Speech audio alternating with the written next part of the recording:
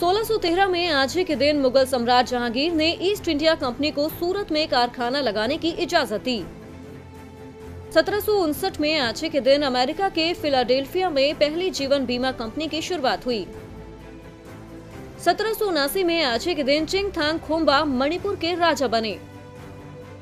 1866 में आज के दिन इंग्लैंड में तूफ़ान की चपेट में आकर स्टीमर लंदन के डूबने से 220 लोगों की मौत हुई।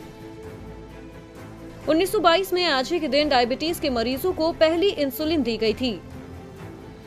1946 में आज ही के दिन भारतीय अभिनेत्री अंजू महेंद्रू का जन्म हुआ।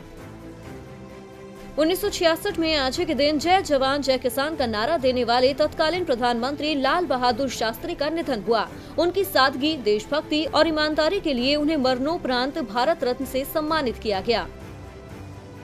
1972 में आज के दिन पूर्वी पाकिस्तान बांग्लादेश के रूप में स्वतंत्र देश बना।